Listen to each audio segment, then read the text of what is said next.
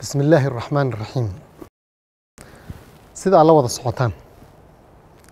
Sanadkii hore ee laba kun iyo labaatan bishii toddobaad waxaa soo bilaabmay doodii ku saabsanayd arrimaha doorashada qaranka ee laba kun iyo labaatan laba kun iyo labaatan iyo kow.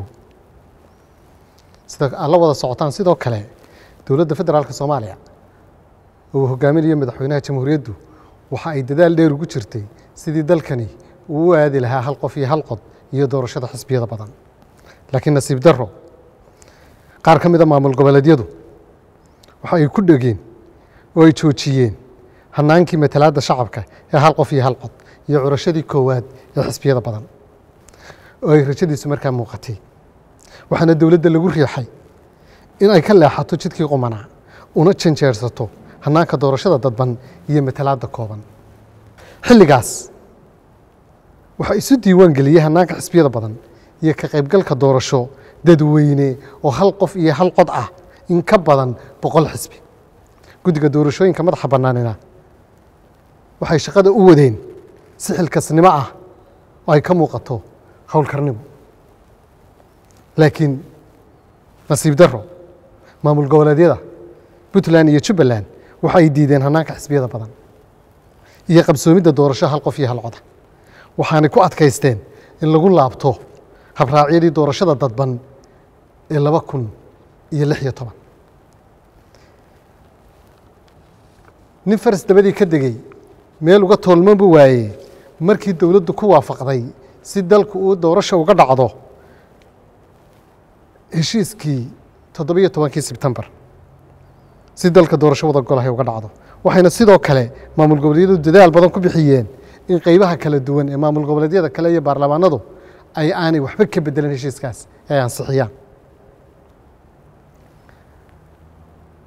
Mar haddii la heshiiyo waa in loo hoggaansame eh dowladdu waxa ay ku khasbanaatay in la derdergeliyo fulinta heshiiskaas waxaana xukuumadda loo soo gudbiyey guddiyadii doorashada ee saddexda maamul goboleed ee hirshabeelle galmudug iyo koonfur galbeed sidoo kale xubnihii gobolka banaadir ka imanayey ee shanta xubnood ahaa guddidii maamul lahayd ayaa la soo gudbiyey. Sidoo kale guddiyadii doorashooyinka somalilan ayaa xukuumaddu soo saartay sidii ku qorayd heshiiska toddobiyo tobankii sebtembar laakiin nasiib darro mar kale puntland iyo jubbaland waxay diideen inay soo magacaabaan guddiyadii doorashada sidii lagu heshiiyeyna.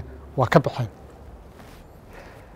Mar kale si loo derdergeliyo fulinta heshiiskii toddobiyo tobankii sebtembar madaxweynaha jamhuuriyadda federaalk soomaaliya maxamed cabdilaahi farmaajo wuxuu isugu yeedhay kulamo badan oo isdaba jooga laakiin madaxda jubbaland iyo puntland waa ka baaqsadeen kulamada.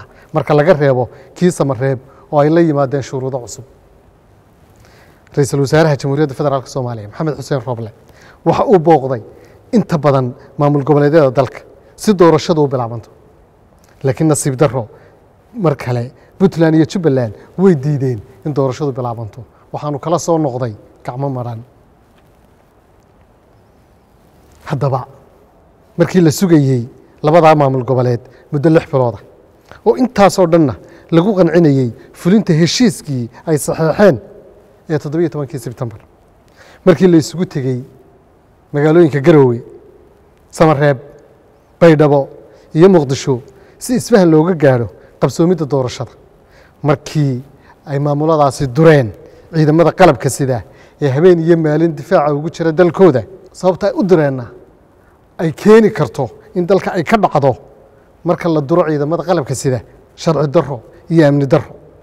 Markii maamul goboleedyada puntland iyo jubbaland ay jid iyo jihadiid noqdeen si loo fuliyo heshiiskii ay iyagu soo qorteen ee loo ansixiyey dalkuna uu doorasho waado markii madaxweynaha jamhuuriyaddu uu in ka badan shan jeer gogol u dhigay maamul goboleedyada doorashada diidka ah taas oo uu kula baxay magaca tanaasul badane. Markii wax kasta oo ay codsadeen loogu ogolaaday isfahamkii baydhabo ee shan iyo tobankii ilaa lix iyo tobankii febraayo si doorasho u dhacdo. Laakiin mar kale ay puntland iyo jubbaland diideen fulinta isafgaradkii ay ku soo saxeexeen baydhabo.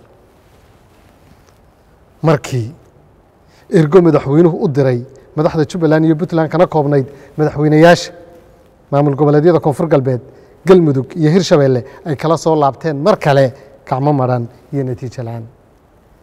Markii ilaa sabtidii saddexdii abril la wada fadhiyey xerada afisyooni. Si loo derdergeliyo fulinta heshiisyadii toddobiyo tobankii sebtembar iyo lix iyo tobankii febraayo ee baydhabo oo ay ka soo qayb galeen waa markii koowaade madaxweynayaasha jubbaland iyo puntland ay keeneen caqabado cusub.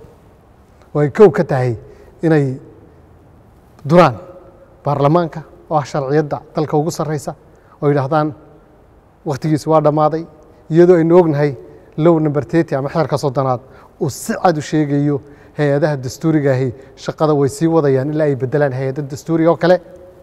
Inta la soo dooranayo hay'adaha cusub iyadoo waxaa soo dhami jiraan ayay baarlamaankii dureen oo ay yidhahdeen awoodu ma laha xeerar cusub ee meesha ha laga saaro madaxweynuhu awoodda ha wareejiyo xukuumaddu yay shaqo qabanin ciidamada hogaamadooda ha la kala diro inagoo og dagaalka ay ku jiraan ciidamadu habeen iyo maalin.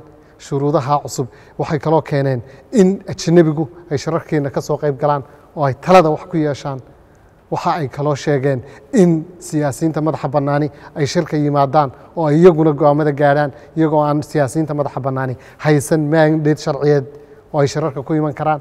Waxa ay soo jeediyeen in taliyayaasha ciidamada shaqada laga eriyo iyadoo xaaladdan lagu jiro. Waxaas oo dhan oo loo arkay caqabado cusub iyadoo aa ogtihiin in golaha ammaanka ee qaramada midoobey uu soo saaray qaraar afar arrimood ka hadlaya in madax bannaanida soomaaliya aan la faragelin inaan wax shuruuda lagu xidhin doorashada in la derdergeliyo heshiisyadii toddobiyo tobankii sebtembar iyo lix iyo tobankii febraayo taasi markay dhacday.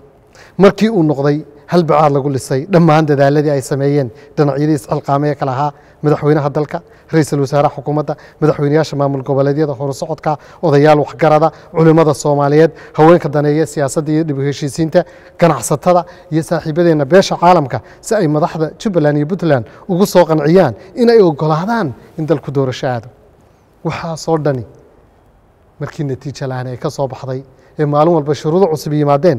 Ugu dambeyn xukuumaddu. Waxay maanta u caddaynaysaa ummadda soomaaliyeed in labada madaxweyne goboleed ee puntland iyo jubbaland aysan rabin inay dalkan ka dhacdo doorasho uu aasaaskeedu yahay toddobiyo tobankii sebtembar iyo isfahamkii lix iyo tobankii febraayo waana wax laga xumaado in labada madaxweyne ee puntland iyo jubbaland ay noqdeen jid iyo jahadiid aan doorasho ogolayn. Intaasaanu u caddaynaynaa ummadda soomaaliyeed meel kasta ay joogto una sheegaynaa dowladdu inay mar walba diyaar u ahayd. Intaasoo gogolood intaasoo goobood iyo intaasoo shirna isugu timi si loo derdergeliyo doorashadii. Laakiin ay ka socon weyday labadaa hogaamiye ee puntland iyo jubbaland saasaanu ummadda soomaaliyeed u caddaynaynaa. Aad iyo aadna uga mahadsantiin